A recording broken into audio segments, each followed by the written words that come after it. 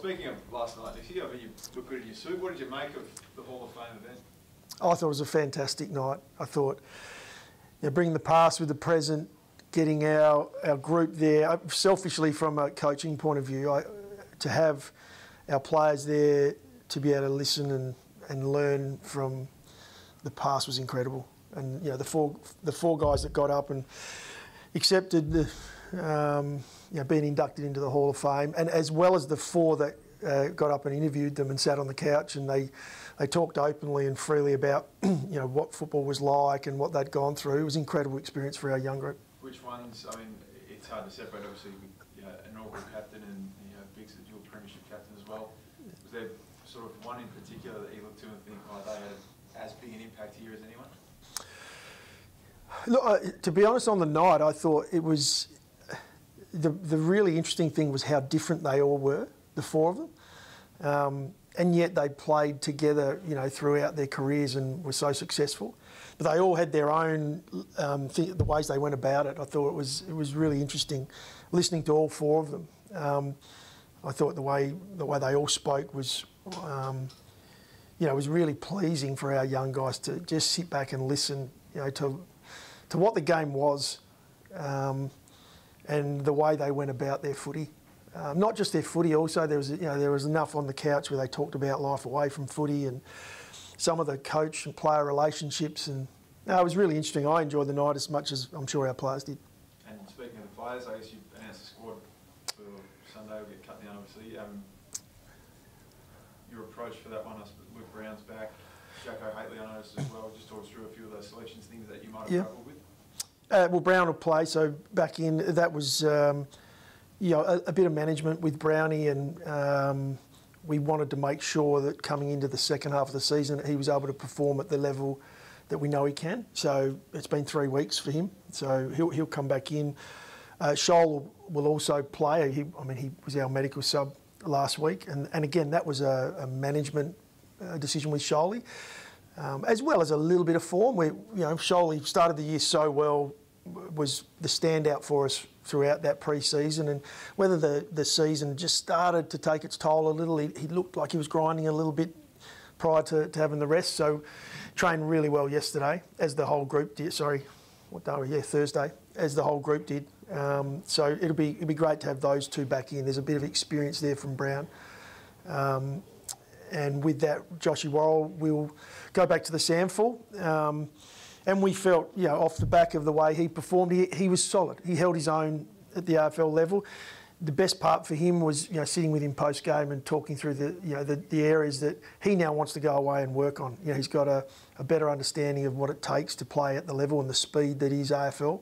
Um, it's quite a jump up from, from the SANFL level. So great experience for him. He'll get another opportunity at some point in, in time, but with Brown coming back in, um, you know, we'll, we'll get that experienced player down back. What about Yeah. Seedsman? Oh, sorry. No, I was just going to say they're the only two. Hately and Himmelberg just travelled. Bo- both both emergencies at the moment, but without giving too much away. No, Jacko won't play at this point. Um, we've got a couple of things still in the mix. Uh, Cedo Creek sort of got a bit of a, a crook neck just in a tackle. We, we went pretty hard on Thursday. We had a we had a great session out in the wet uh, Thursday, which you know, might be an indication of where the game goes on the weekend with the roof open. So we were pleased to get that one in. Unfortunately, with that, you get a bit of bash and crash, and Cedo took a, a pretty good hit. So he's pulled up quite well. We're confident. We're 95% sure he'll he'll be um, as good as gold. And uh, Brodie Smith um, developed a bit of sort of tightness through his back. He's he's great. He's in this morning and he's uh, 100%, so he'll be right to go as well.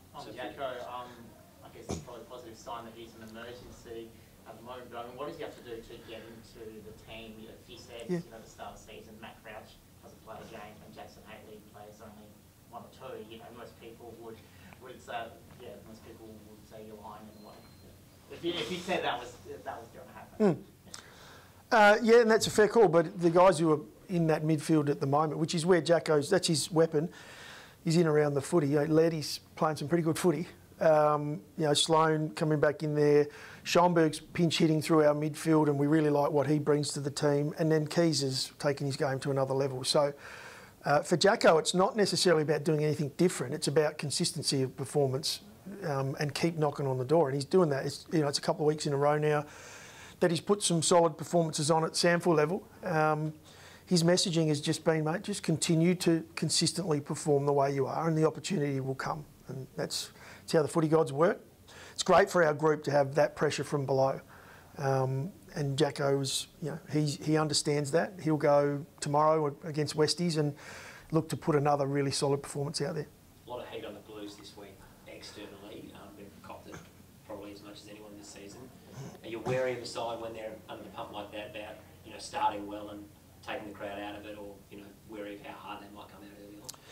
Yeah, we're, we're also looking at our starts. Unfortunately, we have third quarters for a while there, and you know we've we've sort of gone through a lot of challenges this year, and we work on something, and something else pops up. But our, our last couple of weeks, we've started really slowly, and um, you know you point around Carlton, our opponents this week are they're a very very good side if if they're allowed to play their style, and they've, they've shown some really good footy this year. So.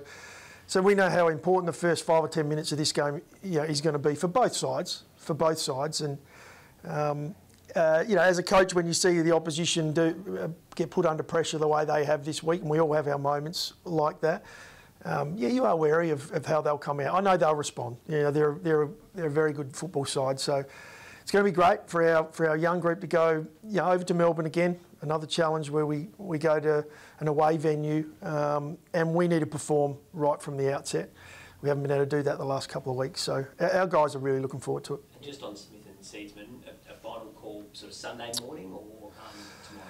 It'll be more than likely tomorrow. Um, pretty sure that Brodie's good to go. I just saw Brodie um, in the change rooms. He's he's feeling a lot better.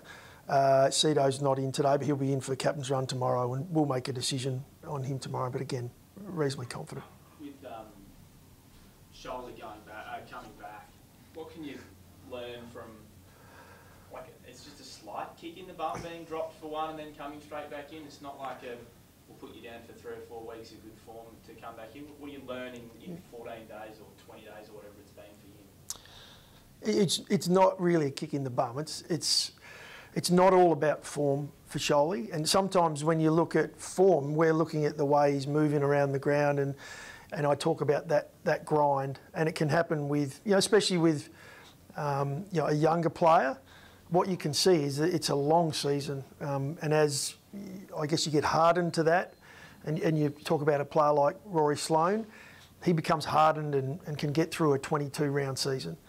Um, a lot of these guys that are first and second year in or third year in, it, it's quite challenging for them to work their way through a season. So there's a management part to it as well, where um, we're not doing our, our guys any favours if we're just going to keep grinding them away week after week. You having the bye is going to, you know, hopefully help our group. We felt, um, you know, coming in that, you know, it was such a good performance to fight back against the Saints. But at the start of that game, there was we were just off the boil. We, we, we didn't quite have the game to the level we need, you know, to, to compete.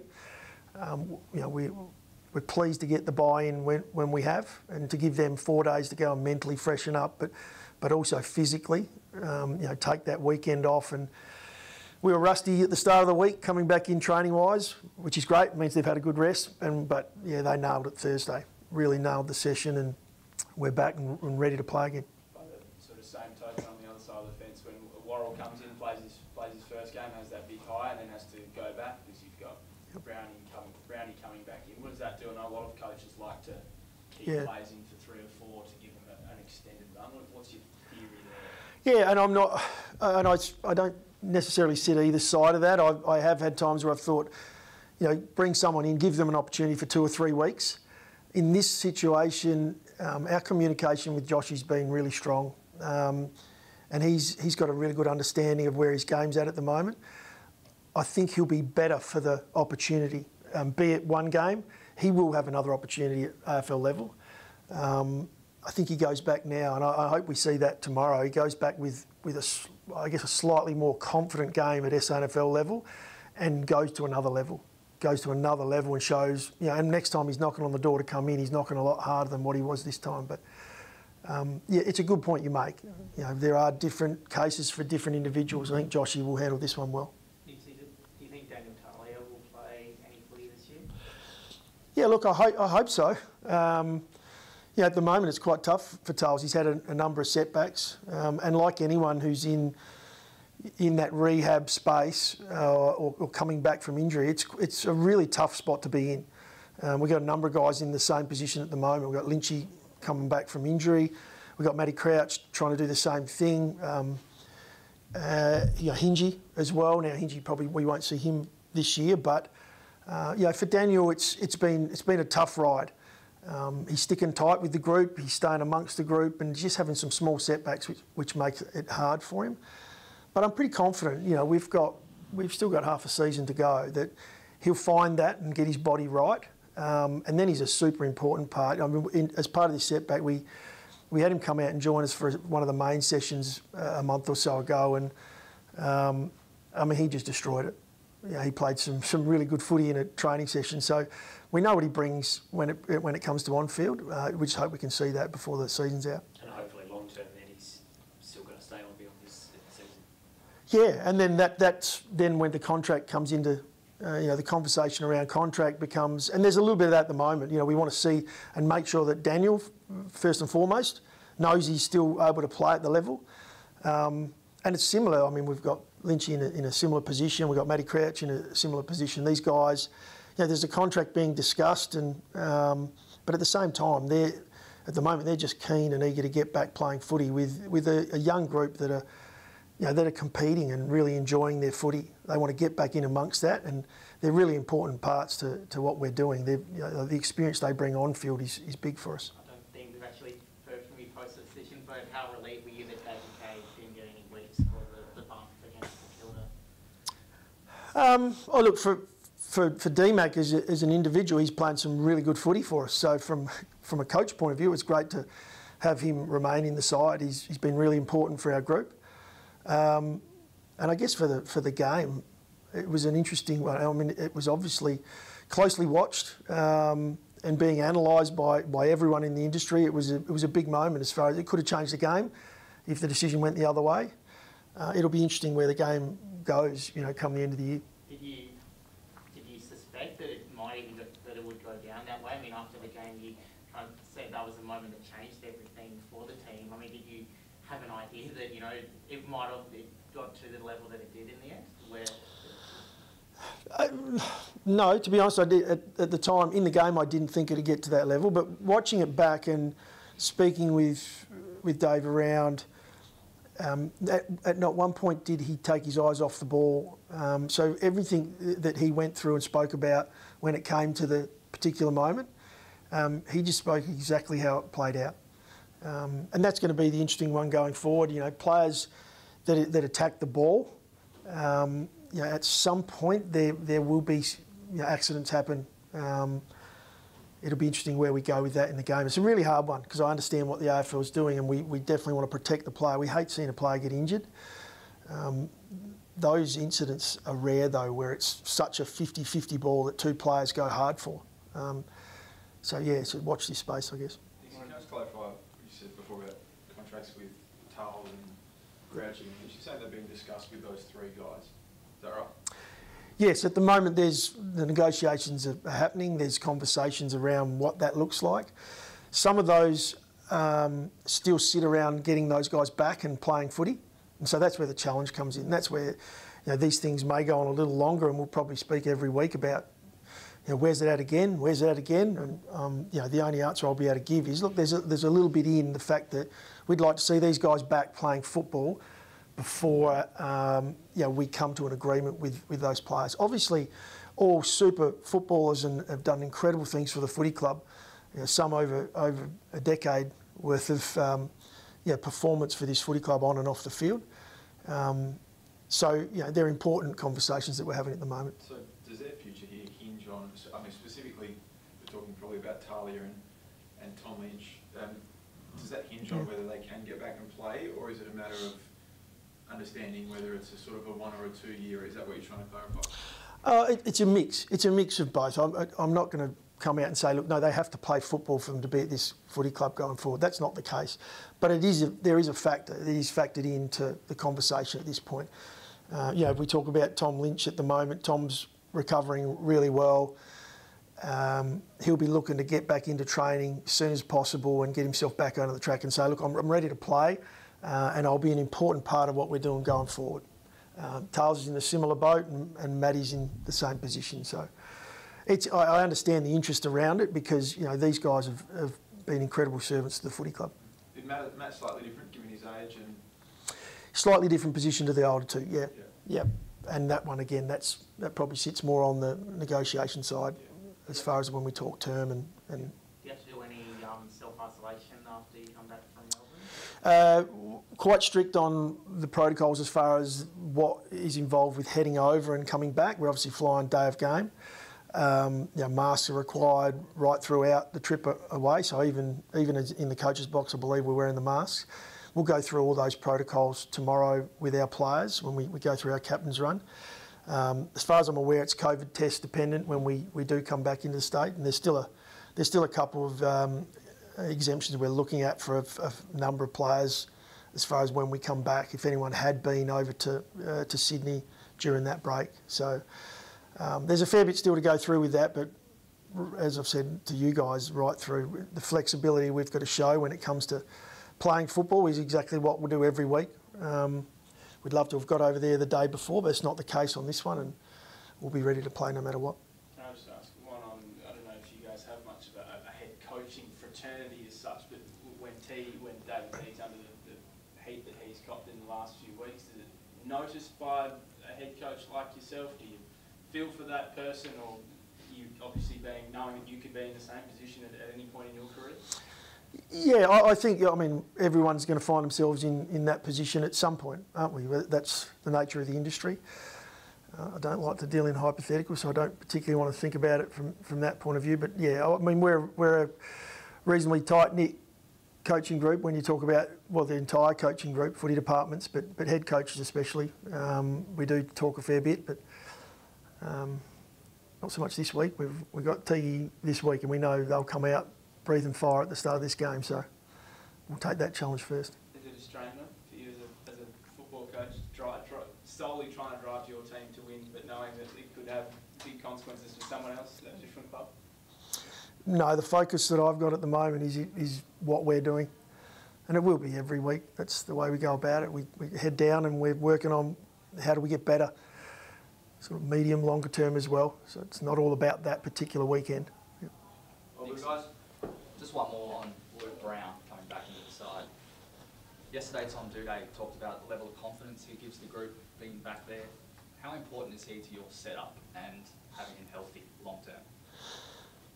Yeah, well, Tommy's Tommy's spot on. Well, Tommy would know he's, he's playing alongside him. Um, at the moment, we're we are a very inexperienced group down back. Um, we love that. We love the fact that we're we're pretty raw back there, and sometimes we find that you know we, we can leak scores at times and we can make errors, and that's part of the learning process. Brownie adds that element of experience back there. Um, he's that sort of balanced head that in, in, in times when we need him, he can step up and he can lead that group. Um, and I'm sure the way Tommy would speak about it, Tommy Doedee as a leader, it's nice to have that experience alongside you. So, yeah, he's super important. He also plays, um, you know, that important role on the really dangerous small forward for the opposition. Um, yeah, so when you talk about a, a Carlton, you talk about an Eddie Betts style of player. That, um, you know, to have an experienced player also doing a really important job or an important role is is someone that uh, we value highly. Just get your, just get your view on something James Riley said during the week, that um, players were sort of, they use the word panic in terms of, you know, being able to handle opposition pressure and, Mm. you know, in reference to your ball use and the way you go forward. Do you feel like there has been a sense of panic, to use James's word, in terms of, you know, how you guys have handled opposition pressure? Yeah, it's, it's I don't. I'm not sure it's the exact word. I'm not sure that panic's the exact word. Um, it's probably more a, composure issue or, or a lack of composure at, at, a, at a really key moment. And the best sides in the competition bring bring the pressure. Um, you know, you play against a Richmond, and we saw that this year. It it's four quarters of pressure. So we, we showed some great signs in that game where we were composed and we moved the ball well, even when the pressure was, was at its highest. Um, I don't think our, our guys panic, but the area we're working on at the moment is our ability to hold that composure for four quarters. Um, if we do make a mistake, making one mistake, not turning it into three, Um, and, and often that is your challenge when you have a young group, and we're, we're young down back, and that's where the pressure often comes more than not. It's in your back 50. Um, yeah, our ability to, to make a mistake and still not um, take any damage on. When I say damage, I mean like goals against. That's the part we're working on at the moment. Um, you know, our, our scores against are, are too high at this point in time. We, we can bring those back by 10 or 15 points a game. All of a sudden, we sit now in, in where you need to as far as being competitive and fighting it out for finals footy. Thanks, guys. Thanks, Nixie. Thank. Thanks, boys. Thank you.